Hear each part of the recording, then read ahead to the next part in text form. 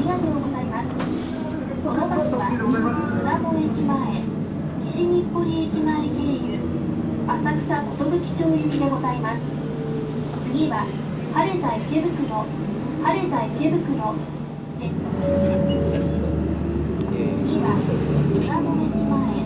巣鴨駅前でございます祭りで食べる時間うなぎ、ても土壌、天ぷら、旬の食材が気軽に味わえるお店長島は巣鴨駅前バス停目の前です JR 山手線都営本日も都営バスをご利用いただきましてありがとうございました次は浅草寿町